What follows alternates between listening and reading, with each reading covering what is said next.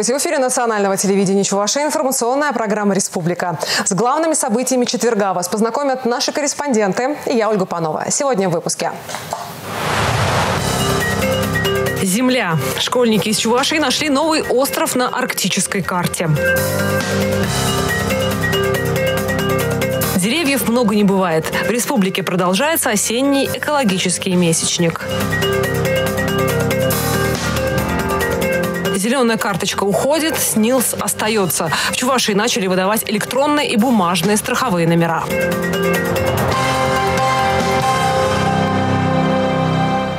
Сегодня в правительстве России рассматривали индивидуальные программы социально-экономического развития регионов. В расширенном заседании принял участие и глава Чувашии. Подробности у Дмитрия Ковалева.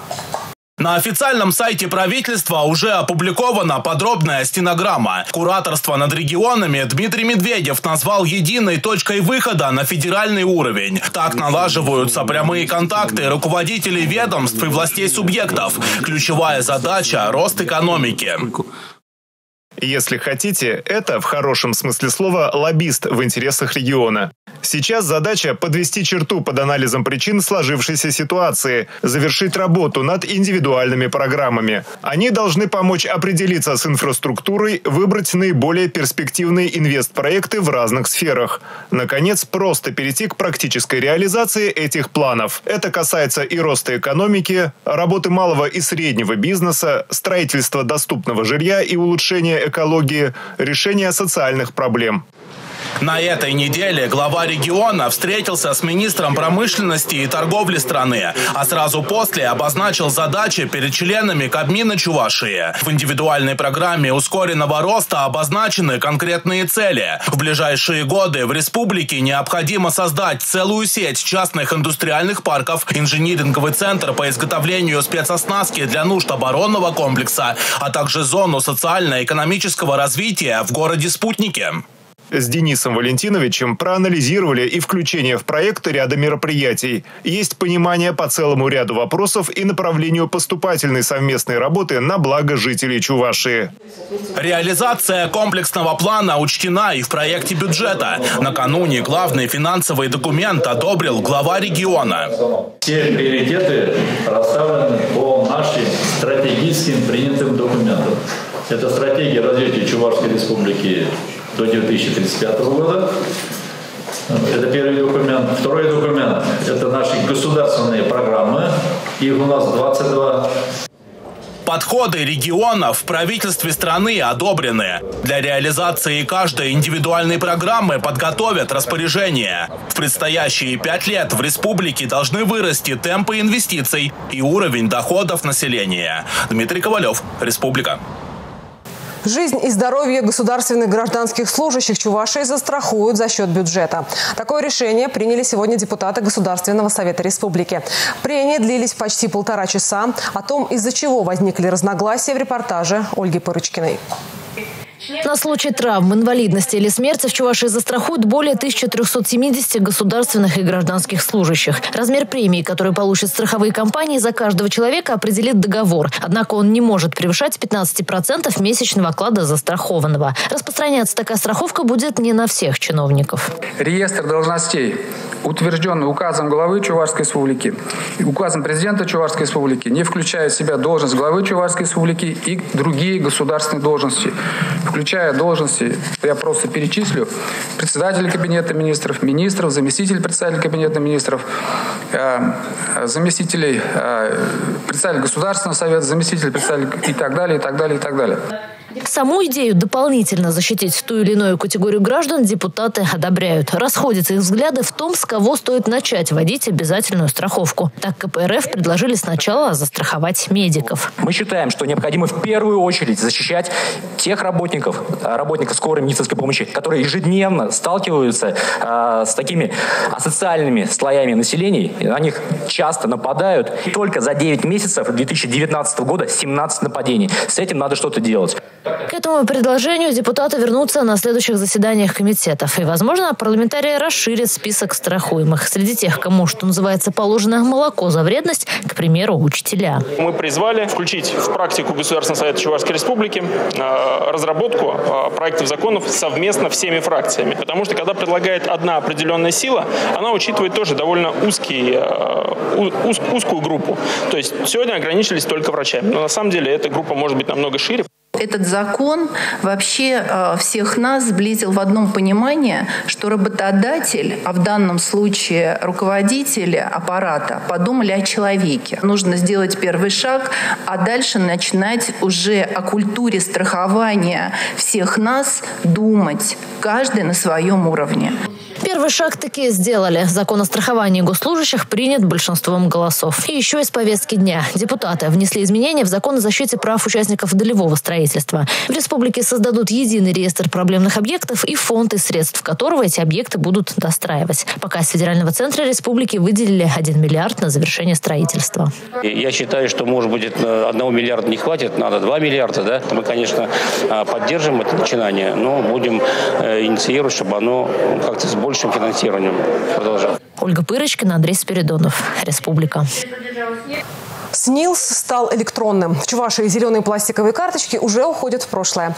Процесс перехода будет поэтапным.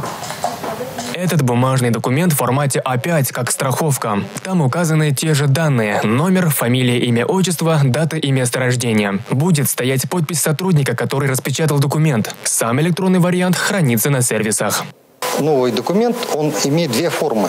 То есть привычную на бумаге и электронную форму. Процедура занимает несколько минут. Оформление заявления и печать и выдача уведомления. А, при этом э, нет привязки к месту жительства. Сейчас страховой номер можно скачать на госуслугах и сохранить его на своем компьютере или смартфоне. Он всегда будет под рукой. Получить уведомление э, можно, обратившись лично в любой орган ПФР, в МФЦ, либо через работодателя. Лица, которые зарегистрированы на портале госуслуг, могут э, уведомление получить уже не обращаясь ни в МФЦ, ни в ПФР, а из дома, с работы, э, через э, личный кабинет на сайте ПФР. Сегодня в регионе зарегистрировано миллион триста тысяч страховых номеров. Нововведения никак не скажутся на пенсионном обеспечении. Однако СНИЛ старого образца пока остается в силе. Кстати, с 2021 года в электронный вид должны перевести и паспорта. Рифат Фаткулин, Валерий Резюков, Республика. 10 октября – Всемирный день психического здоровья. Он призван напомнить человечеству о том, как важно сохранять душевное равновесие, особенно в наше неспокойное время. И куда обращаться, если моральных сил практически не осталось. Психиатрическая служба республики включает диспансер со стационаром на 1185 коек и филиалами в пяти городах. В 21 районе Чувашии есть кабинеты врачей-психиатров. Это позволяет проводить своевременную диагностику различных отклонений, оказывать квалифицированную помощь людям, людям, находящимся в сложной жизненной ситуации. В республиканском диспансере есть специальное отделение для пациентов, страдающих неврозами. В схеме лечения в основном поддерживающие процедуры – электросон, кислородные коктейли, тренировки по релаксации. Большое внимание врачи уделяют профилактике психических заболеваний. Учат справляться со стрессами, противостоять эмоциональному выгоранию, получать радость от каждого дня. Ну и, конечно, необходимо помнить, если диагноз все-таки поставлен, своевременное лечение и реабилитация помогут сохранить качество жизни. Сегодня днем в северо-западном районе столицы встали троллейбусы. Вчера подобная ситуация случилась утром на Марпасадском шоссе. Причины ЧП разные, сообщили в Чебоксарском троллейбусном управлении. 9 октября возле остановки Аникеева габаритный автомобиль задел контактную сеть. Ее восстановили к обеду того же дня. А сегодня троллейбусы встали из-за повреждения кабельной линии резервной подстанции. На нее Чебоксарское троллейбусное управление подключилось на трое суток, потому что ремонтировали основную рабочую часть тяговой подстанции. После выяснения причин аварии было принято решение о передаче питания контактных сетей троллейбусов через соседние тяговые подстанции. Троллейбусы в это время не стояли, двигались по измененным схемам. В 11 часов 36 минут бригадами электромонтеров контактной сети были зашунтированы участки контактных сетей. Движение троллейбусов восстановлено в аварийном режиме. В настоящее время на рабочий ВОЗ 6 киловольт тяговой подстанции номер 4 подано напряжение. Питание участка производится от тяговой подстанции в нормальном режиме. В республике продолжается экологический месячник. В столице региона сегодня чистый четверг. На улице Пирогова вдоль проезжей части разбили липовую аллею. Подробности в следующем материале. Пасмурная погода, высокая влажность – именно такие условия больше всего подходят для роста молодых деревьев. Чтобы саженцы пережили зиму, крону привязывают к специальному пластиковому каркасу, который сможет выдержать даже порывы шквалистого ветра. Все по науке и проектным расчетам. Каждую улицу в городе благоустраивают по градостроительному плану. Посадка деревьев производится в месте, где нету коммуникаций, то есть нету кабелей, охранных зон. Там, где корневая система деревьев будет свободная для роста роста дальнейшего растений. Приживутся деревья или нет, покажет зима. В организации, которая отвечает за проводимые работы, дают гарантию на каждый саженец – три года. Есть же разный ущерб. Там, может там сломать, кто-то может выкопать, украсть. Ну, если этого нет, то, конечно, да. Знаем, как посадить, но все зависит все-таки от природы. И мы же понимаем, что если, допустим, сейчас ударит мороз там 40 или там сколько-то градусов, оно может и не прижиться. Это же, ну, естественные природные условия еще влияют, факторы. Деревья подобраны для городских условий. То есть эти деревья должны ну, нормально выживать. У нас липа, вот мы сейчас сажаем лип, она у нас везде растет, как вы сами видите. И прекрасно, как говорится, взаимодействует с, ну, с остальными реагентами. Всего на улице Пирогова посадили 20 лип. Все места, где необходимо провести благоустройство, в администрации Чебоксар выбирают по заявлениям жителей. В городе уже приживаются и экзотические для наших мест породы. На территории города на сегодняшний день высажены такие породы, как туи западная, клен генала, липа мелколистная, а, курильский чай, снежноягодник, спирея калинолистная и спирея рябинолистная, а также жасмин обыкновенный. Всего же осенью в столице региона планируют посадить 300 деревьев и полторы тысячи кустарников. Татьяна Трофимова, Дмитрий Ковалев, Алексей Зотиков, Борис Андреев. Республика. Новый остров в Арктике открыли школьники из Шоршел в рамках Всемирной космической недели. Сделали они это благодаря геопроекту, разработанному аэрокосмической компанией «Рисксат». Важное географическое открытие – отправная точка для будущих исследований. Были времена, когда школьнику не хотеть стать космонавтом было так же странно, как, например, не хотеть мороженого. Сегодня приоритеты, безусловно, изменились, но желание выработать сильный характер, как у космонавтов, по-прежнему ценится высоко. Девятиклассник Павел Михайлов серьезно изучает физику, географию, занимается спортом. С малых лет его интересовали тайны космоса. Сейчас мне поступило предложение от Алексея Кучейко еще один год работать дистанционным зондированием Земли. Исследование мира по спутниковым снимкам разных архипелагов, островов, морей. Занятия в космической школе только укрепили его в желании связать свою будущую профессию с космосом. На космической неделе Павел вместе со своим другом Никитой Ильиным под руководством опытных коллег из Московского авиационного института успешно защитили свое открытие в Арктике. Мы работали по этим снимкам, анализировали их, а, изучали остров, его масштабы, его площадь э, и как бы делали из этого всего э, презентацию. Подготовка у ребят серьезная. В школе они активно занимаются в отряде юных космонавтов «Восток». Наш отряд уже работает с 2004 года. И за столько лет работы у нас появилось очень много победителей и призеров. То, что Андриан Григорьевич, наш земляк, летчик-космонавт, он э, как бы пример для наших детей. С ребятами работает опытный педагог Николай Семенов. Сплав теории и практики дает результат. Мы строим вот летающие самолеты, метательные. Для младшей группы у нас метательные в основном.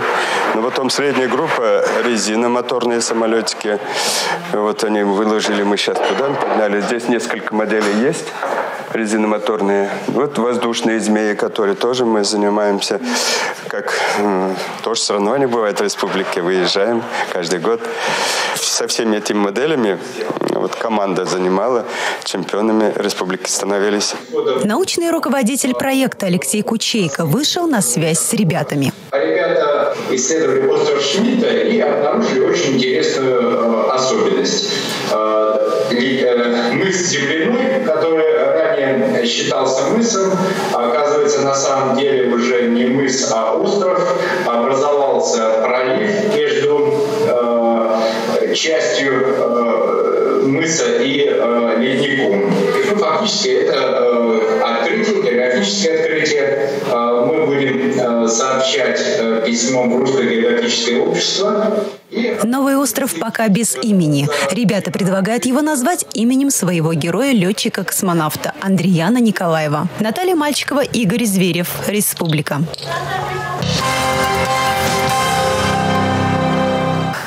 В литературном музее имени Константина Иванова прошел творческий вечер, посвященный столетию со дня рождения народного писателя Василия Алиндея.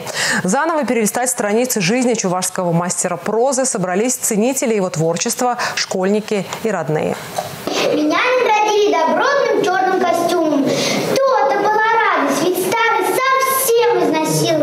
Василий Алиндей родился в деревне Кудеснеры Урмарского района. Незаурядный самобытный писатель, его перу принадлежит сборник стихов «Наш дом», а романы «Пчелка золотая» и «До земли склоняются травы», принесшие автору известность 60 лет назад, до сих пор остаются популярными. Василий Алиндей умело проникал в душевные переживания, сокровенные думы людей, в глубины их характеров. «Ни дня без строчки» – вот такой был его девиз. Не зря он написал всего более 30 книг за свою жизнь. О чем он писал? Писал о том, что очень хорошо знал. Он очень хорошо знал жизнь деревни. Он сам родился и вырос в деревне. Знал, писал про своих односельчанах, о их проблемах деревни, села. Очень много выезжал в районы. И еще он писал о войне, потому что сам был участником войны. Прошел войну, был ранен. И в 43 году, потеряв ногу, он вернулся домой. Юная фокусница из Новочебоксарска покорила Первый канал. Вика Орлова стала лучше всех в искусстве магии. Где и как учат на волшебников, секреты раскроем в следующем сюжете.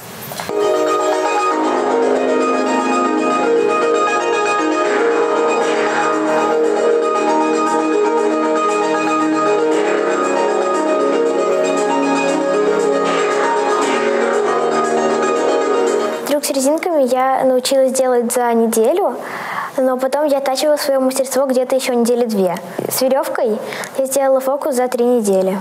Ловкость рук и никакого мошенничества, как говорится. Попасть на съемки программы Первого канала Вика мечтала давно. Год назад заинтересовалась фокусами. Месяцы тренировок и ее мастерство удивило всех.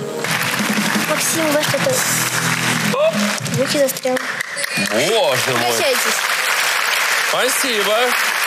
Кастинг в программу проходил еще летом, и в октябре состоялись съемки. Два дня ушло на репетиции. Специально для девочки сшили смокинг и заказали туфли. Вообще у меня много фокусов, потому что ну, я не считала.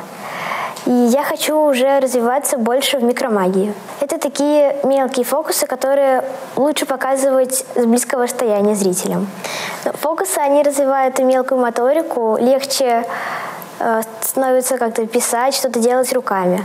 Вика живет в Новочебоксарске, в школу фокусов ездит в Чебоксары. А еще она учит китайский, занимается конным спортом и ходит в художественную школу. Ну и суть не то, чтобы отвлечь внимание у публики, а направить его в нужную сторону. Видишь, как эта птичка? Хотя ее там нет, но ты посмотрела. Так же и здесь. Мы смотрим на руку, акцентируем внимание сюда. Но монета находится в этой руке. Учитель Вики Альберт Пластинин, известный в Чувашии иллюзионист. Главный секрет в деле волшебства, говорит он, трудолюбие и терпение, которое часами, днями и неделями оттачивают на практике. Ирина Волкова, Мария Шоклева, Игорь Зверев. Республика. Таким был этот четверг глазами корреспондентов программы «Республика». Я, Ольга Панова, с вами прощаюсь и до встречи в эфире национального телевидения Чувашия.